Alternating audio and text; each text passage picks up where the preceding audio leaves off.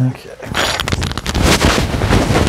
How do you pronounce his Polish ass name? Lasso? Yeah.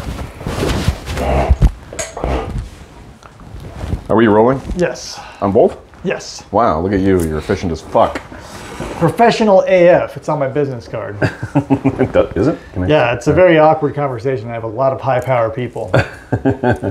Uh, uh, I, I know ASC stands for something, but what does AF Does stand for? ASC? Yeah, like if you're a cameraman, I think it is. Oh, APSC. Did that too. Well, Dave, Oh boy. that was Dinosaurus. It was dinosaurs. Listen, I don't know what you're complaining about. I'm the guy who bought that movie. I here's the thing. I want a copy of this. Do you? Yes. It was so. It was so bad. It really was. Which is kind of, I mean, I was, Which is why I knew it would be fine. bad. I knew it would be bad. But I'm a fan of the original Blob. Like, I think it's a fun movie. And I realize it's elevated in part by the fact that Steve McQueen is in that movie. Yeah. Okay, but even then, I don't think an actor of any better caliber than anybody in this movie could have saved this movie from its terrible dialogue. No, but but that's that's what is the craziest part of all of this is it could have been just another land unknown. It could have and very well uh, almost was another boring example of money and time wasted. I mean, they milked it better than. Um, have Have you seen uh, Beast of Hollow Mountain? Um, there, there's an MST3 new MST3K episode of Beast of Hollow Mountain, and the dinosaur action. I mean, we're talking about the title character. The the Beast of the Hollow Mountain appears for probably a, a, a grand total of 30 seconds in that movie. This at least doesn't pull that trick. Right. It does at least have the dinosaurs. Yeah, yeah. but I don't like them. Right. In comparison, Right. if they were the only thing that drew my attention, that dazzled the eye, that moved the plot along, Yeah. fine, I would cling to them like a drowning man to a log. what we have though is a something we have something that is thrown completely in I feel as an afterthought. The caveman.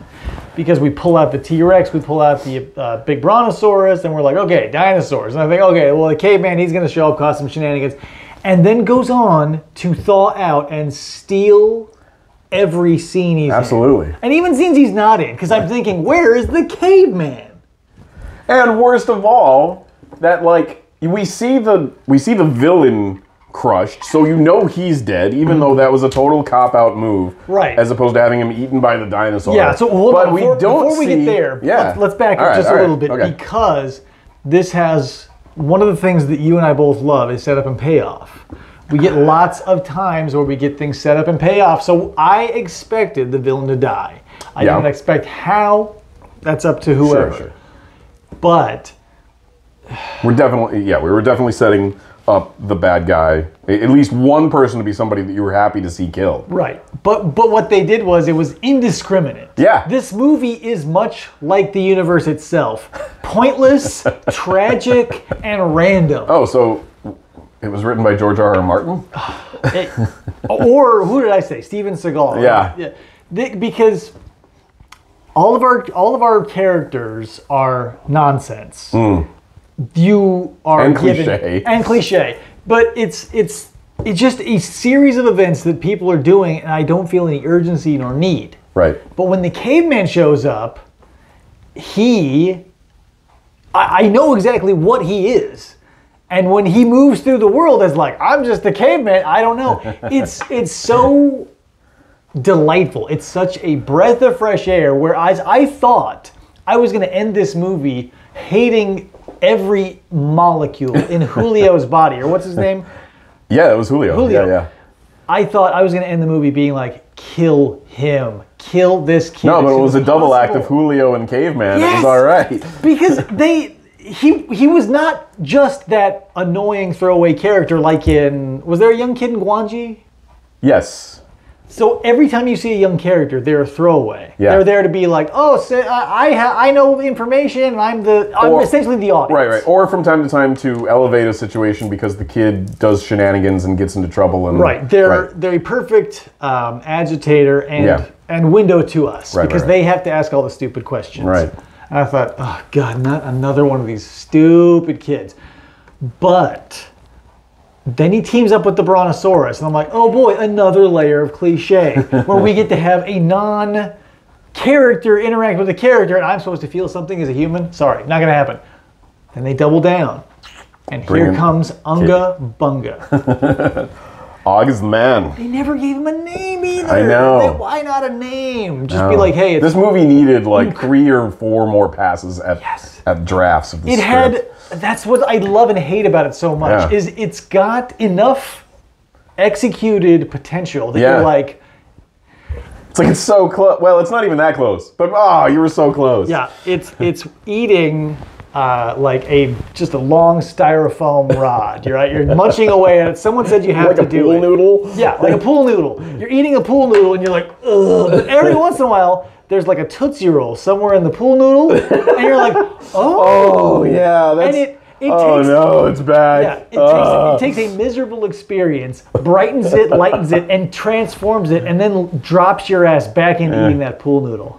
it's true. And then the worst part is, since there are no uh, scruples in the director and or writer, all of our favorite characters die. yep. I was willing to accept the Brontosaurus dying. I was sad about it. Hmm. I was willing, and that bitch dies twice. Yeah. That was awful. And so then on heartbreaking. And then on top of that, we don't, unless unless you're still waiting for me to bring this up, we don't No, get the payoff yeah. Of the resurrection of the caveman that we didn't even see die off screen. Like, like he Don't- just kind of yeah. something falls on him, was and a- you're like, oh, it was oh, a oh, he's gonna be, he's gonna be all right. It was a massive pileup of setup that all paid off in ways you hated. Right. Because early on, And it- they say, "Don't go there, quicksand." So I think, aha, an evil guy's going to get quicksand because our bad, our good guys are avoiding it. No, it kicks you in the dick, and they throw the brontosaurus in it, a good guy. then we get the caveman, who's been nothing but a cave gentleman, For the most part. and I mean, he does try and look up her skirt. Right, I mean, within reason. He's still a beast, a beast of a different time, but still gentlemanly. Hmm. And you know, they just he dies. Everybody's just like every. Bl- if you were white bread, you were safe. If you were Oh my God, you're right. yeah, every Oh. white bread character stayed. Wow. Julio, no, he gets a pass because he's hanging out with the white boys. Right. Yeah. uh, but that's the thing. He's he's lumped in. He Yeah. stays with Ward. He stays with White Lady. He stays with Native Lady, who is White Lady with black hair. Ah, it's like it- the only way to survive this movie was to be completely uninteresting. None of the actual Islanders get a line. No. I don't even think because most of it looks like stock footage. But whatever the, the technique they're using, I'm sure they were there, but you'd Right. have to watch it to understand what I'm saying. Yeah. But yeah, that's the thing. It, it's it's it's constant complaints about this or that that don't make any sense. Yeah. It's warnings that go unheeded. It's an obvious escape plan that is given that is not taken. And all the while you're like, please bring back the caveman. Even and here's the thing, you don't know, but I'm gonna give you a spoiler alert. I want to remake this movie. It's so great. The ca- just the okay. I'm going to tell you a scene that should have told me that we were going to be fine as mm. far as the caveman was concerned.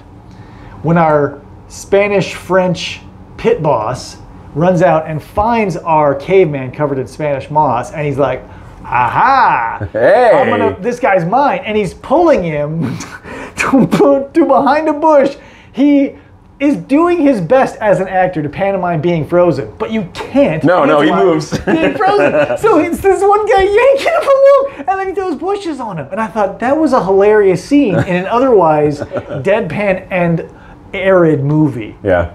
And it's only a morsel that leads you onto this beautiful vein of gold in a mountain of shit. Yeah. Yeah. Would okay. So, concept. 2021. You and I just randomly have a million dollars and somehow have access to remaking dinosaurs. Hundred percent. Do we make it a the straight family comedy, as was inferred in some of the caveman scenes, I or do we make this, family. or do we right, or do we make this as badass? Where at one point we finally see caveman go ape shit with a fucking axe, carving his way through the villains just to get to the girl. Okay, that's rough. That's I know. Because I do. Because what you're saying is classic. Because there was all this setup. Yeah. So you want classic camp and like the the hilarity of like what people thought humans acted like, even though you could see them, versus how they would act today. They don't, nobody even even offers conjecture as to how these three characters ended up in the same block of ice. Which, by the way, you never see the You never ice. see the ice. Here, here, here's what you do to make this a perfect movie. I think I outlined a blueprint a couple of times during. Do those three perfect things that I told you during the screening.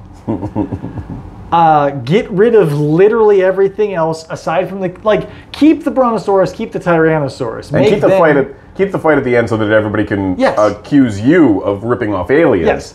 Keep keep everything that isn't white dudes running from here to here or from here to here through fake plans. They had like a ten by ten set of jungle foliage, Yes. and nobody ha- nobody can run off of it. And even though I hated him, we got to keep Dumpy.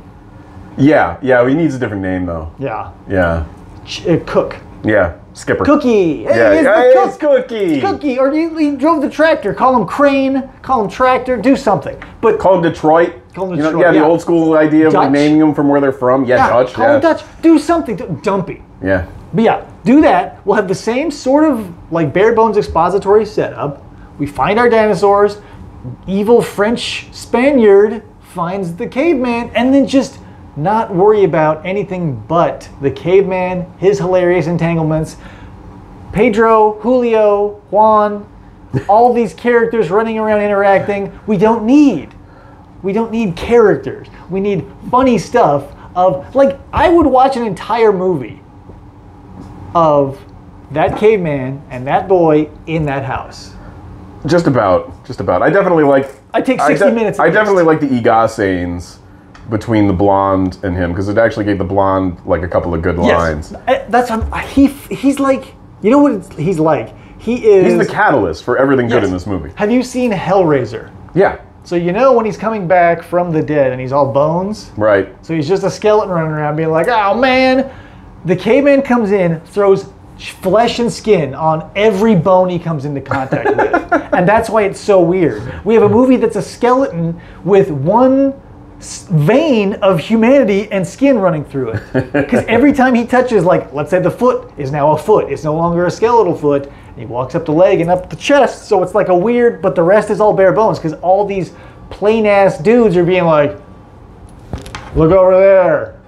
Screen time. I uh, know. And even then, it's it was what 81 minutes. 83. Oh. And it, it, God. that's the thing. You felt. No, no. That being said, again, I feel like the ratio of visual effects attempts uh, to rest of screen time compared to some other cheap dinosaur movies, not bad. That's why I'm going to give this not. Th- that's why it's not a five. It's if it if, if it were as is minus caveman five, don't care. Yeah. Done. I'll never look at it again. but when the caveman comes in, turns the woman into a character, turns Julio into a character. Yeah, no shit. Basically brings a movie Yeah. to the movie. I wonder if that was who. Wouldn't it be great if it? I want to research this. It's like who was Steve McQueen going to play? The main guy? No, he was going to play the caveman. Caveman. That's who you want to be. Yeah. That's what is the engine in this movie. so, Best. and that's the thing. Uh. But if before the caveman, it's a nice 55 Chevy with no engine. it's nice to look at. I don't want to, whatever. I, there's nothing you can do with it.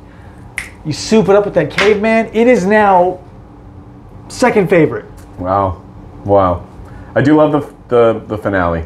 I did. I was a fan. I mean, it wasn't like it was executed perfectly or anything. That wasn't the the worst T Rex in a 1960s movie I've ever No. seen in my life. At least it's a puppet and not like a monitor lizard with a fin on it. Yeah. Eh, Versus a toy tractor. Even though it drags, everything pays off. True. True. Whether you like the payoff or not, it's like life. It's like actual real life. It will give you something. If you don't like it, tough shit. but that's why I like it. It Ah. doesn't make concessions. when it has to. The rest of the time, it's just like more, more. Dude, let's end it there because I already got an idea for a final post credit shot. Okay, good.